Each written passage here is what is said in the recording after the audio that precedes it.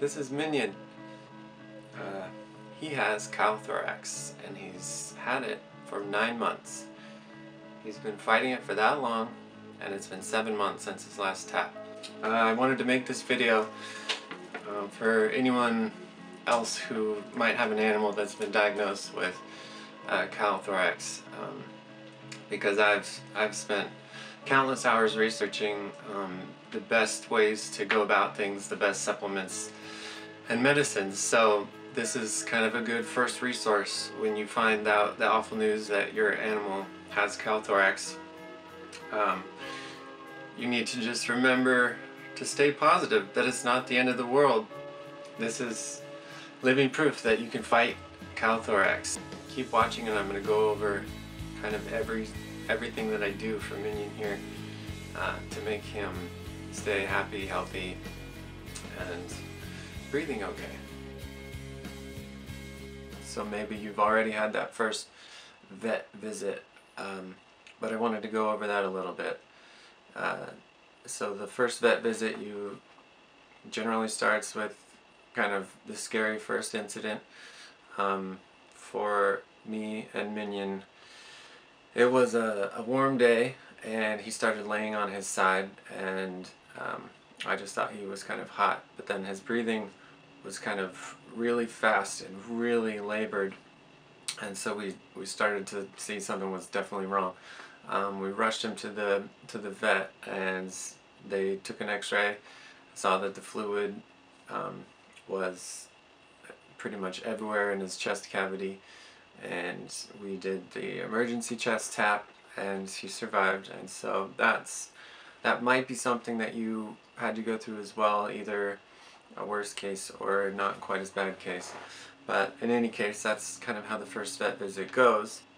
And then at least at the end of our vet visit the vet um, kind of explained in the best way he could our options or what he thought was our options which was um, just take him home and make him comfortable and then hope it doesn't happen again. And if it does take him back uh, tap him again. Or he basically said if we don't want to keep doing this runaround it might get worse and worse to just put him down now which no way.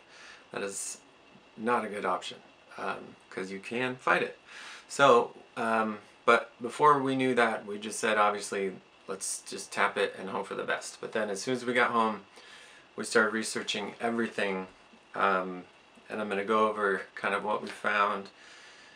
Um, there's even kind of the things that we found are based on actual scientific research. There's some clinical research studies uh, on there for some of the medication um, for the supplement actually.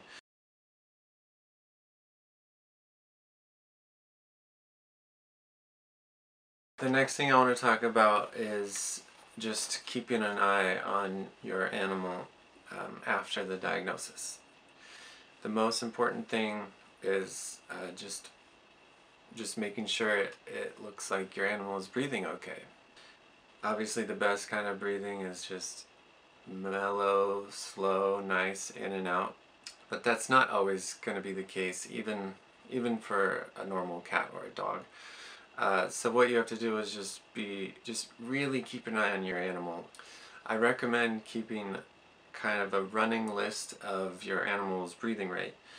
Um, and to, to do this, just when your animal's resting on the ground or on their bed, uh, get, a, get your stopwatch going on your phone you can either set it to one minute or watch for one minute, but start the timer and start counting the breaths uh, from your animal. At least for my cat, we were able to establish the kind of green, yellow, and red kind of danger zones of breathing. Uh, green, really good, was anywhere from 22 to even 30 we considered still not awful. And then we would start to get worried from 30 breaths a minute to 40, 45-ish, and then from 45-ish up it was basically a matter of okay, if this doesn't go down soon, we're taking him back into the vet. And I recommend you do your own research on your own animal to kind of see what their standard breathing rates should be, but at least that's what we use for Minion, our cat. I wanted to mention Thorax is uh, greatly agitated by heat, so definitely watch out if you're in a warmer area or if it's summertime and it's just really hot. You should try to keep your animal cooler and if possible and air conditioned if it's really hot because uh, at least in Minion's case it's you can visibly see the difference of him just relaxing in normal weather versus trying to breathe right in hot weather. The next thing that it, it took us a while to get to this point, but playing with playing with our cat was kind of a actually a good test because for one, Minion you knew Minion was feeling well if he would play, and then after not a long play, after about a minute or two, then you would stop and check his breathing. And if the breathing was just seemed sort of regular after play and then slowly back down to normal, that is good. If it if his breathing seems really labored and fast, and the other thing is watch out for nostril flares. Uh, that that is uh, not a great sign, and you should definitely keep watching your animal. And if that doesn't stop, then you should go to the vet. And the ultimate last worst red flag is mouth breathing. Um, that's actually what happened to Minion the first time. He had his mouth open and he was breathing, and and that that was really bad and really scary. And you should not let it get there. So you got to watch out for the other signs, the big labored nostril breathing, the hard, fast chest uh, bumping.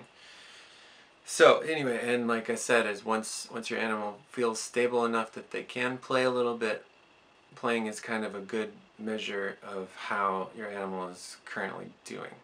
Although the standard should be the resting breath rate, uh, which for Minion we would just take that number at least four times a day and always keep an eye on him uh, just to make sure that he was breathing right.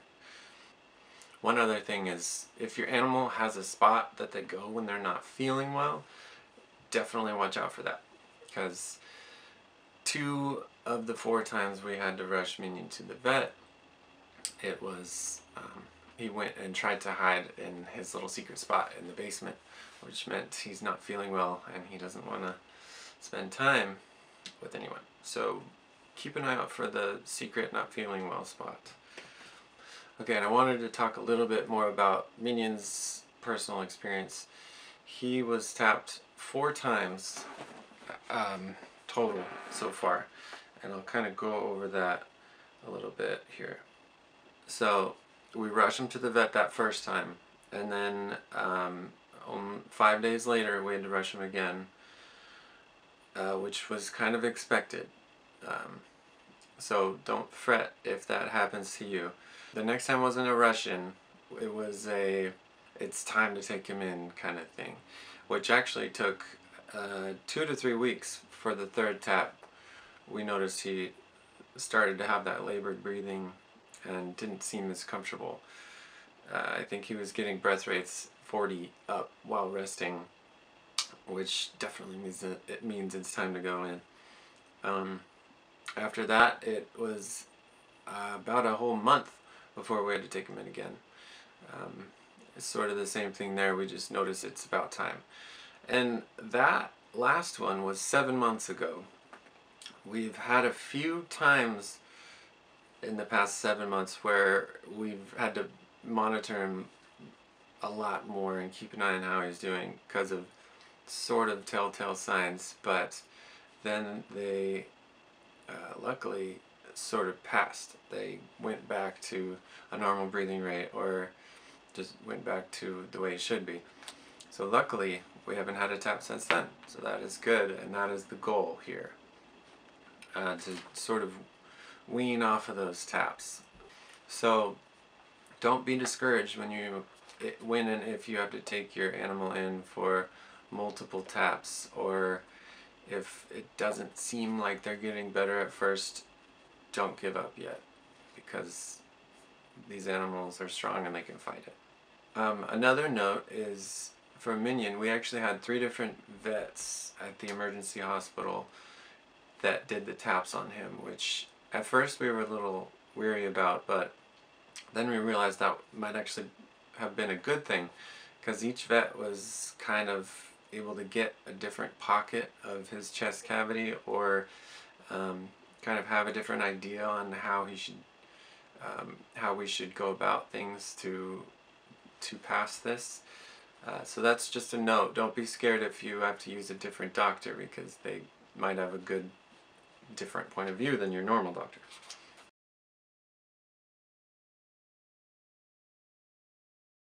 The next thing I wanted to talk about is diet and supplements. This, in my opinion, was the largest factor in making Minion uh, fight this thing so well. So, um, the first thing I wanted to quickly go over is uh, this disease is based on a duct that breaks open and and the fluid spills into the chest cavity. And the fluid is basically kind of a, uh, a an artery of fat that kind of delivers fat where needed. So the idea is to put your animal on a low fat diet while still getting enough uh, protein and other things uh, that they might need. A very important calculation is uh, calculating the fat percentage based on dry matter only. And to do this, uh, you basically have to standardize uh, the moisture across all foods. Um, and to do that, uh, what you do, for example, this is a dry food that I'm going to be using here. I see that the moisture is 10% and the fat is 9%. So the first thing you want to do is go 100 for 100% minus 10% because this has 10% moisture. You get 90. Then so you take the fat, actual fat number, 9%, divided by 100 minus 10, 90, and you get 0.1. 0.1 as a fraction, I mean as a percentage, is 10%. So this dry food is actually 10%, has 10% fat, which is really pretty good. Um, and this, if, if it's your cat that has chylothorax, I would recommend Blue Buffalo, uh, weight control.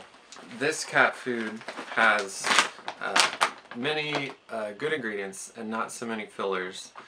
The first uh, the first five ingredients are the most important things when looking at food. And here we have deboned chicken, chicken meal, brown rice, barley, and fish meal. Um, brown rice and barley aren't the greatest, but the top five ingredients, three of them are actual meats, and that's actually pretty good. Um, so I recommend this. The next thing I'm going to go over is wet food. Uh, obviously again Minion is a cat so this is cat food. But uh, if you if you have a cat I recommend Weruva or Tiki Cat. Are both uh, super good um, wet foods that have really good ingredients but also have a very low fat dry matter percentage. And just to do another example we'll of the dry matter percentage we'll look here. So we have 1.4% fat and 85% moisture so remember we go 100 minus 85 moisture from this, 15. So that's the number on the bottom. And we have 1.4. 1.4 divided by 15 shows 0.093, which means this is 9.3% fat, which is really good. And always be sure to do that dry matter calculation because uh, sometimes brands shift. Like Tiki Cat um, actually recently got more fatty, and I don't recommend some of the newer ones. Uh, but anyway, just make sure to do that calculation. These are nine, what was it, 9.3. The dry food is 10%. So we've actually been doing good at being 10% or below. And I recommend that because it's worked for minions so well. Okay, now I want to go over, in my opinion, the number one supplement you should get your hands on uh, for your animal with chylothorax. And that is rutin. Um, this, I don't know everything about it, but it's a plant-based supplement, I believe, that has basically agents in it that help um, absorb that fat that runs along the duct that breaks and uh, spills into the chest cavity. So what it does is basically remove a good amount of that fluid. It's it's just the best the best supplement and I truly believe this had a lot to do with uh, how well Minion has been doing. I recommend going to Amazon, searching bulk supplements uh, and getting their rutin. It's not only the cheapest I've found, but it's the most pure. There's no filler. There's very little taste to it, which is a very big thing for animals. Um, the first few rutins I got had a kind of a nasty, salty taste to them, and uh, Minion is smart enough to know that that does not taste good, and he did not in, uh, take it as well as this stuff. So this is what you get, and I'll show you how to use it in just a second. One thing about rutin is it you should kind of vary the amount you're giving your animal uh, based on their size and um, how how they're doing with their condition. Um, currently, we're giving Minion about I'd say probably 1,000 to 1,500 milligrams, um, which we've been about standard there for a while now. Um, we were able to decrease that a little bit to maybe 750 a day, uh, but then sort of recently we, we noticed a little bit more trouble breathing and we upped it and we've actually seen some good results. So it kind of varies depending on how your animal's doing.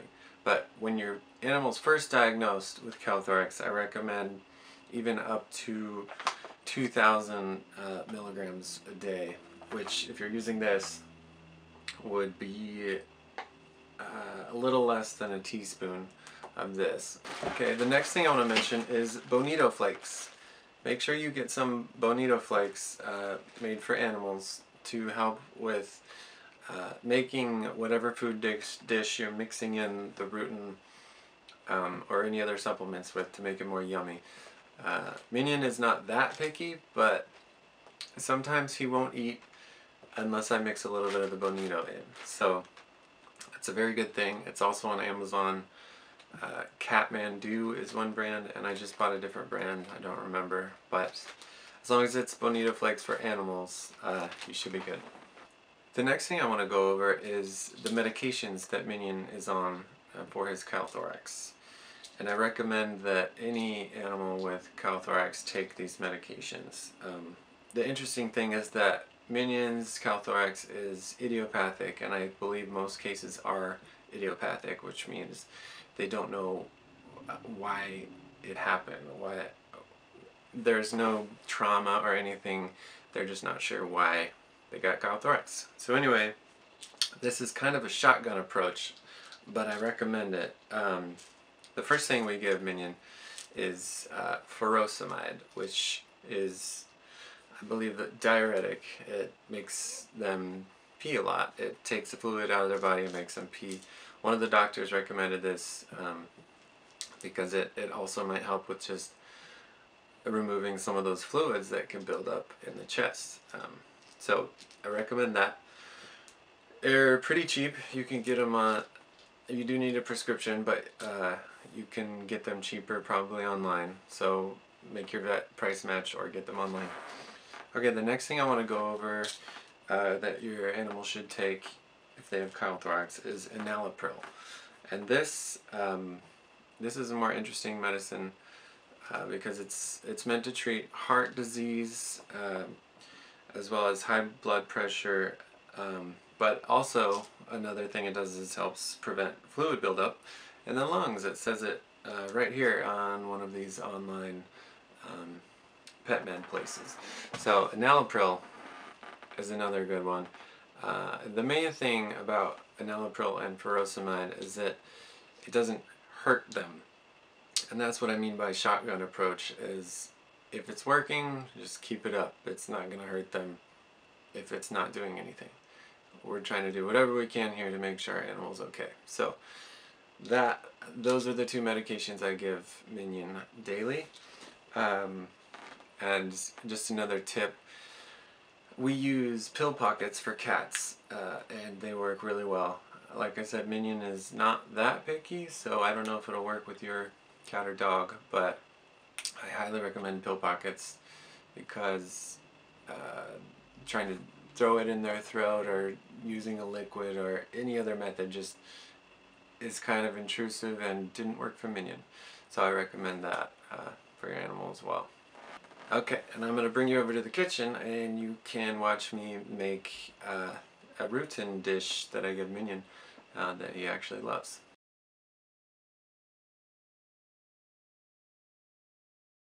I wanted to mention another supplement that I give Minion is this VetriScience New Cat, uh, just a multivitamin uh, that has really seemed to pep him up completely, which is pretty cool. Uh, the other thing I recently started giving him, sort of unrelated, but this stuff is great uh, if your animal's older and maybe starting to get some signs of cataracts eye support. This is the best stuff. I just mix some in with his food as well. Okay, next I'm going to just go over how I uh, make minions wet and dry food uh, using the Rutin from bulk supplements as well as uh, the other I give him eye support as well. What I do is I start with a mixing bowl and I've got my Blue Buffalo weight control here. I put 10 scoops in. Okay, 10 scoops. I get a little mixing jar here. I actually use a shot glass, works great. and the amount that I'm using currently of Rutin is, uh, so this is a half teaspoon, which says here it's 1376 milligrams. And what I do is give one of these for every uh, two scoops I give, which is uh, quarter cup. So I give one one for every two of these. So one for every half cup. Oopsie. So I'm going to put five flat scoops in our mixing thing here.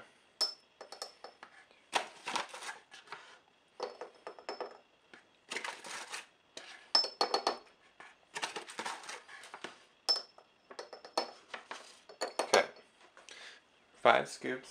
The next thing I do is, like I mentioned earlier, to make it yummier, we're to add bonito flakes right into it. This uh, you can just sort of wing depending on how much your animal needs.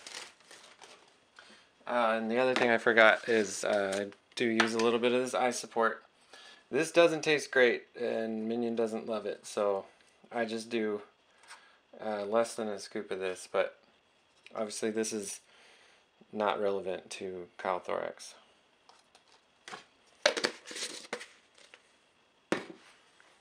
Okay, next I kind of mix that in a little and I fill it with water just barely higher than where it goes so it's kind of creates a kind of thick liquid. Okay. About that much and then I mix it together.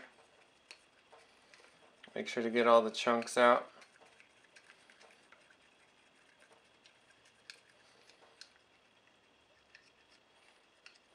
Okay, you want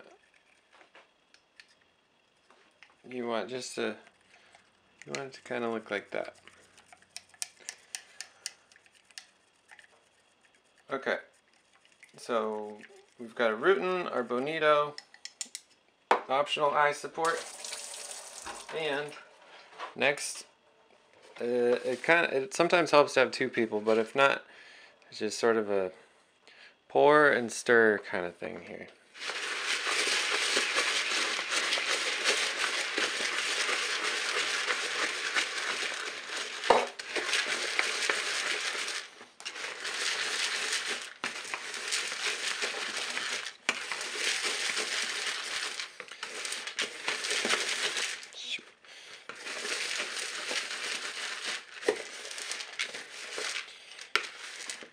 Try to get all the stuff from the outside, get everything nice and mixed together so it's even.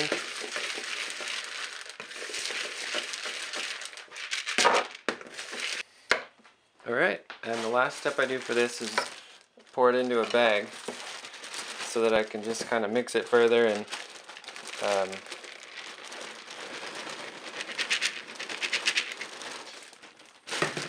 and keep it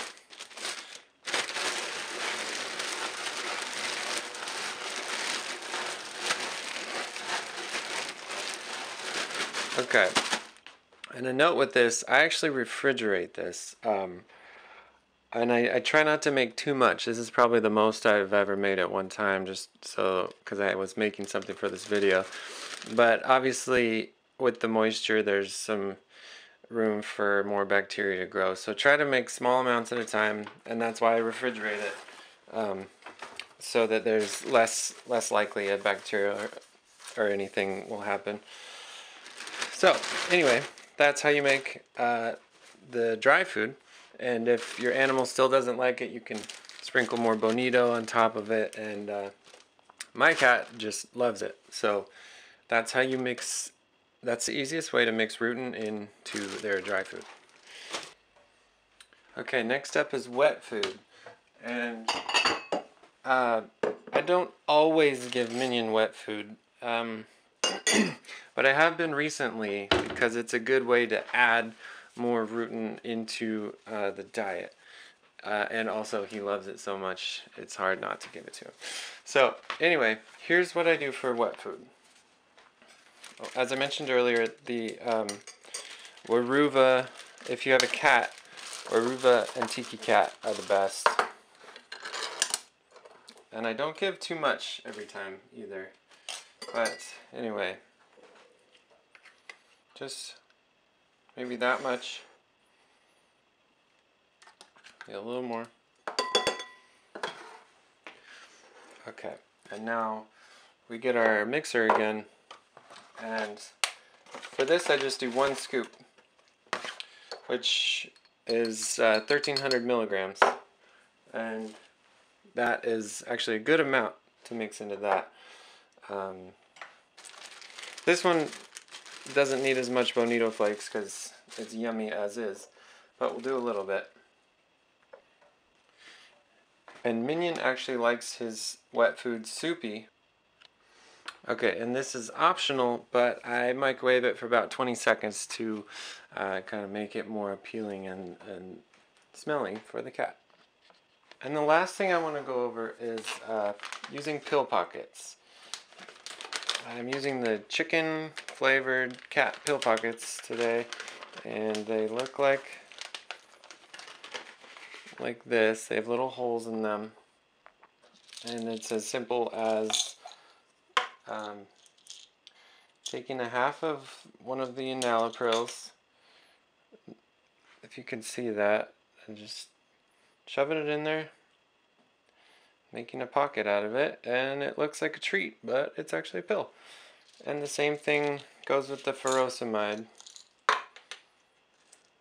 We split it in half and put one in here.